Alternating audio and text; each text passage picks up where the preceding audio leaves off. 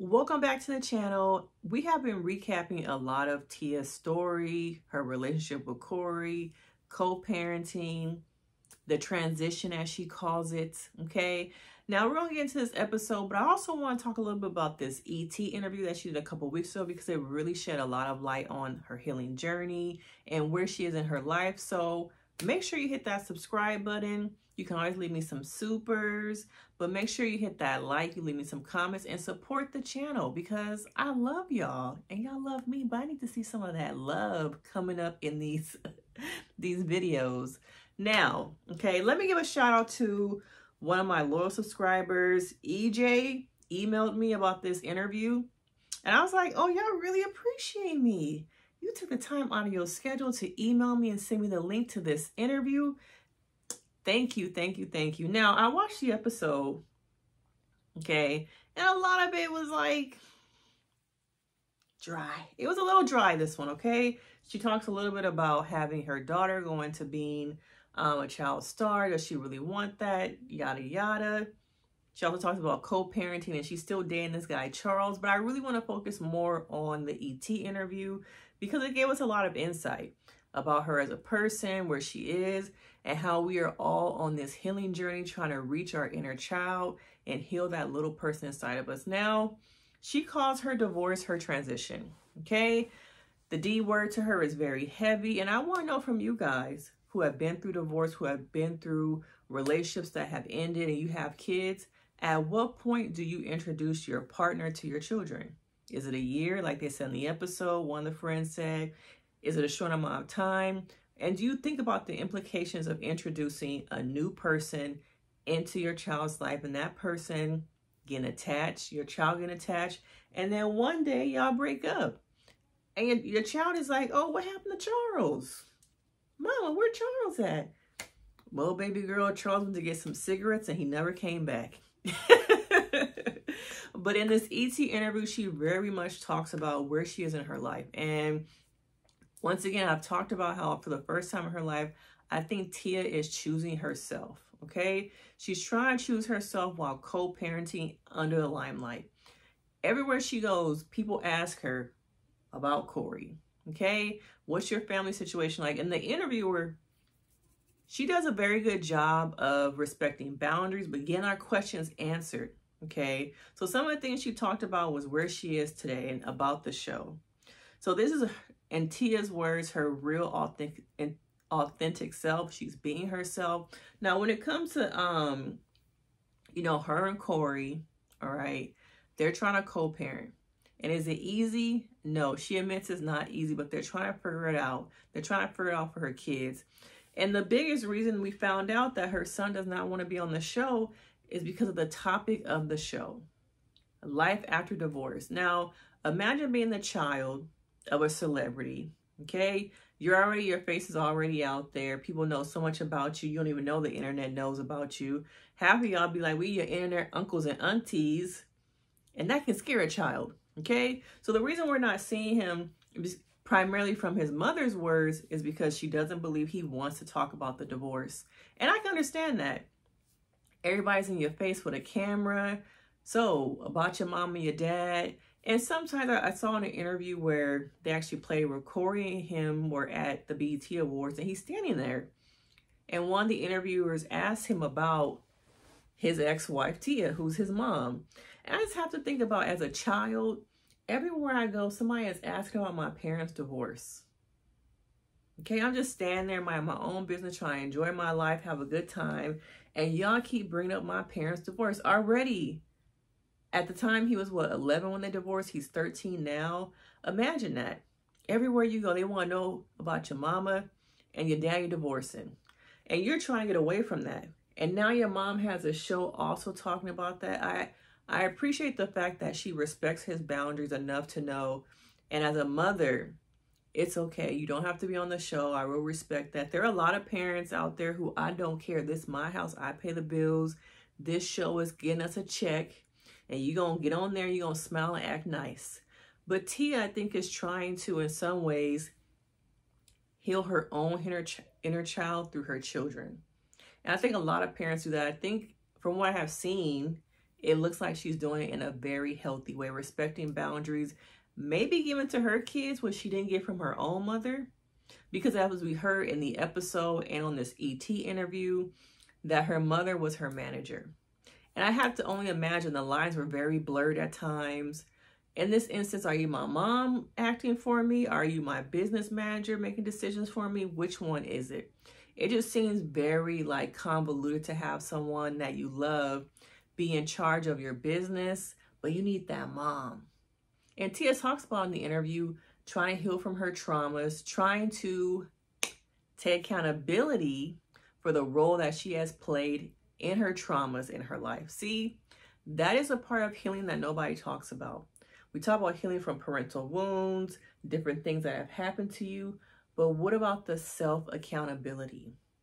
So many people are afraid to turn that mirror on themselves and think about how did I contribute to where I am today? Okay. And some people might say, what do I have to do with the things that have happened to me? And I'm not saying that it's your fault. I'm just saying we all make decisions and the role that we play in our lives and how we got to where we are today. And it's important as you're going on your healing journey to self reflect and think about how did I contribute to some of the things of I'm not liking about myself?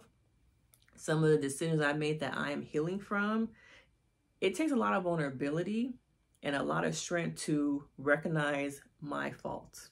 And most people don't want to. It's a lot easier to walk around and blame everybody else. Well, my mama gave me up. My daddy wasn't around. I can't help that my daddy wasn't around. I can't help that my mama wasn't around.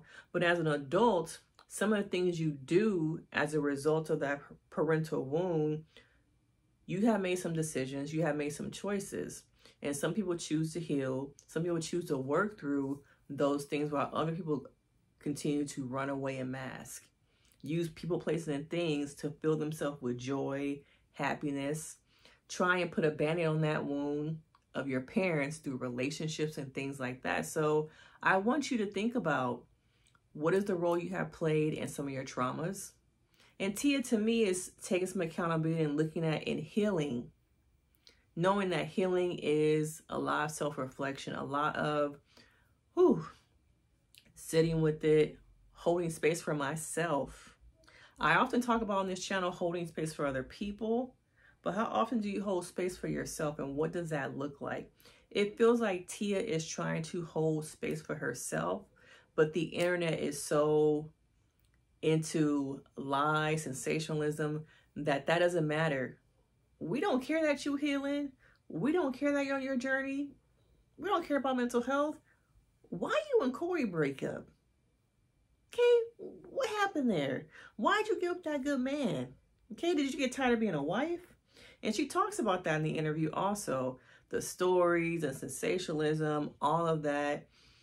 And she understands that no matter what people are going to talk. Okay. She also talked about her relationship with her sister. Now, some of it you might say was a little bit of um being nice, not saying anything bad. So you might feel like she might not have been telling the truth, but she basically says that they're both women. Um, Tamera has responsibilities with her children and she's trying to be there with her kids and live her own life. It felt a little bit um, media trained, years of media training. Okay. It wasn't really the true tea. It was what she wanted to say. And how she said that, I was like, oh, you being nice. You telling the people a nice little sugar-coated version of what is really going on. Will we ever know what's going on with her and her sister? Who really knows? Okay. Is it really our business? Probably not. Half of y'all be falling out with y'all siblings. Okay, but continue to let them treat you bad because you're a people pleaser, because you were conditioned to let people treat you wrong. But in this instance, it, it seems like they are not allowing each other to be treated bad by one another. And that's the truth of the matter is, okay, that they probably both have said some things, done some things, made some decisions about where they are right now. But one day maybe things will get better, but right now it is what it is. And I think it's also years of being next to another person. Imagine like she's been next to her sister since utero. Okay? She's been next to somebody. There are going to be times where you have disagreements. There are going to be times when the business gets intertwined and mixed up with the sisterhood that business decisions were made over the sisterhood, probably times where the mama got in the way of them being sisters because of business dealings, all of that, all of that trauma. But instead, we are focused so much on, well, why y'all not, why y'all not talking? What's the tea? We just want the tea. The internet is so consumed with the tea of everything. They don't want to hear the real version. They just want the sensationalized version because the lies are way more entertaining than the truth. The truth can be just like they fell out. Sisters fall out. I'm sure half of y'all have experienced some of this stuff, but you're not celebrities. But people are so focused on, we just want the tea. We don't care about nothing else. We don't care you're on your healing journey. Them kids. What happened with you and Cory? What about your sister? How come they wasn't on the show? What about you and Charles? Who are you dating? Okay all of that. Nobody cares about what's really happening in people's lives. They want to be able to focus on picking at and pointing at different things of other people's lives because that's way more entertaining and distracting from working on myself and focusing on my own problems. Especially on the internet, girl. You got these people, these internet gangsters, okay, keyboard gangsters with their avatars, their fake photos, Okay, get to show up as anybody they want to because on the internet you can have control over people. The control that you are missing in your personal life on the internet, I can be who I want to be. I can say what I want to say. Now, all the stuff I say to you online behind that keyboard, I probably could never say it to my own friends, my own husband, my own sister, my own kids. But this avatar, this keyboard, I have control I have the life I want to. That is not my real life in reality. And it's good to see that Tia is not focused on what people are saying. I think that I'm sure there are times she reads the comments, she gets caught up in all that. We all do at times, but it's good to see her healing on her healing journey. Now, she also talks about another child because in the show, this medium, did y'all notice that the medium from this show, I believe, was the same medium that was on the Braxtons. Did y'all peep game? Or was I wrong? It looked like it was the same person. But it seems like the medium was actually wrong. Okay, now the medium said that she sees another child coming into um, Tia's life. Tia says she asked her kids, y'all want a sibling? They said, hell to the no. Mm-mm-mm. Don't bring no other kids up in this house. And Tia, of course, is like, okay. My kid said no, so it ain't in the cards. But it also doesn't mean that her birthing a child can mean that whoever she decides to be in a relationship with might bring a child into the picture because at the age she is, whoever she chooses who's close to her age, they probably gonna have some kids, a kid, a life before her. So it could also mean that too. Now she also talks about being remarried. She wants her next relationship to be private. I think she has learned about having public relations and how the internet is so influential and how they rip you apart. So she wants to have a private relationship. I kind of got the feeling that she actually might be in a relationship and she's just keeping it to herself. And also that the person is not Charles. Okay, let me know if you think that Charles was for TB. Do you think it was really dating? I get mixed things about is it for real? I don't really know. Okay, but the interview was very enlightening. Thank you to EJ for sending me the link. It was way more entertaining to me than this interview. Um, sorry, than the episode. Way more insightful. I think this interviewer really knows how to get things out of the people she interviews. So kudos to you. But the episode itself was a little bit dry. Okay. A little bit dry in some Old Bay, some garlic seasoning, some paprika. Okay. Because all I, all I was getting was salt and pepper. Okay. Maybe just salt, no pepper. Okay. Who wants to eat a piece of chicken with just salt? Okay.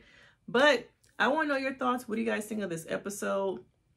Have you watched the ET interview? Maybe I'll put it in the comments in the below the description so you guys can actually watch it. But we are seeing what it's really like to go through a divorce. It is not easy. Okay, to and and then you add children. She was with Cory for what 22 years, I believe. Her first everything. So now Tia is in a space of self-discovery, healing, and part of healing is taking accountability and looking at yourself and seeing how you have contributed to where you are today and what are some things that you need to work on in order for you to be a better a better self What is it that you need from you? And tapping into that little person. What is that little person inside you still need that you can provide them?